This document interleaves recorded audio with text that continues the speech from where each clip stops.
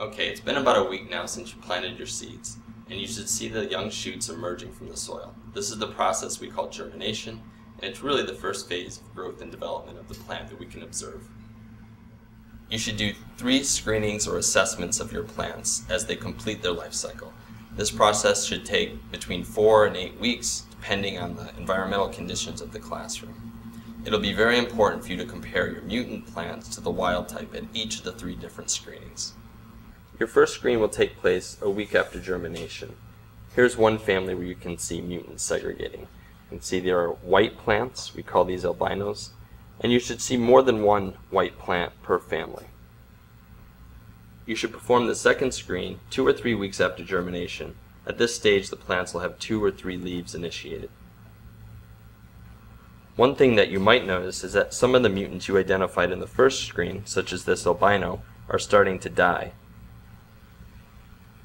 You may also detect more subtle mutants, such as this pale green plant, that you didn't pick up in the first screen.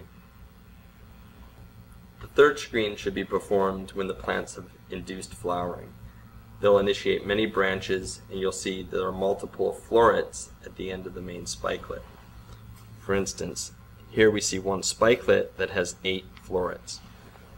In the third and final screen, you'll see many mutations that affect plant form and flowering time.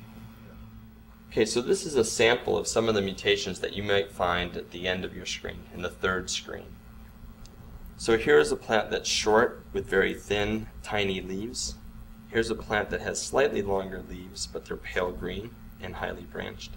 Here's a mutant that's variegated where it has green and white stripes on the leaves.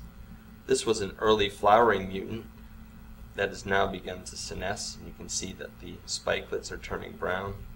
This is another early flowering mutant that's at a slightly earlier stage in development. You haven't seen, we don't see the senescence yet, but the plants are noticeably shorter than the wild type.